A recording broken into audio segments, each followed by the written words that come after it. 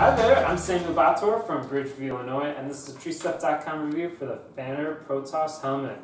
This thing, uh, aside from being wicked sick, is like the most expensive helmet ever, um, and so it like has to be amazing. Um, and I definitely believe it lives up to that standard. So uh, it has so many features to it, I don't know where to begin. So let's just start by saying this is the most comfortable helmet I've ever put on my noggin. This thing has padding here in the back, and then there's a, a clip that you can adjust so that it cinches on tight to your head. Uh, you can make it so it's really tight or somewhat loose, whatever feels good to you.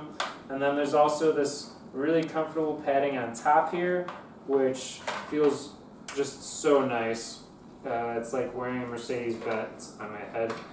And then uh, there is like the, the safety material inside here in case a log were to fall on your head. And uh, this would keep you from getting too bad of a concussion, hopefully.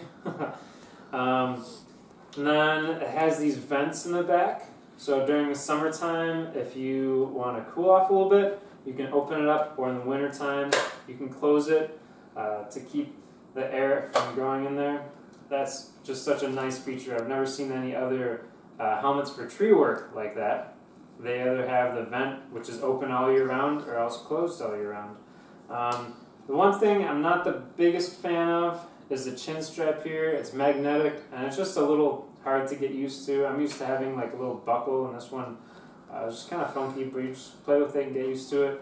Uh, something that I think is so sick is these, the earmuffs here, they slide back so that they're out of the way and it just stays underneath the helmet here. So I, I think that's really cool. Uh, it's nothing that things will, like branches will get caught on and hang on. They're really slim profile and then the padding is like this really squishy kind of gel foamy stuff which feels really comfortable. And let me say this again, everything feels really comfortable. Um, the shield here here is really great.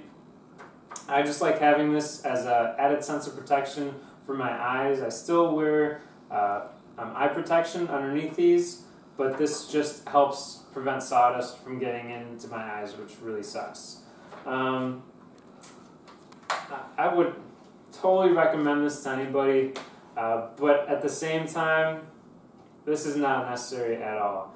As long as you have a helmet on and you have some kind of hearing protection, it just could be like something as cheap as uh, as earplugs, then you'll be fine. But if you have the money to spend and you want to wear something that's comfortable and you're working all day long, um, why not get this? So I highly recommend this to anybody.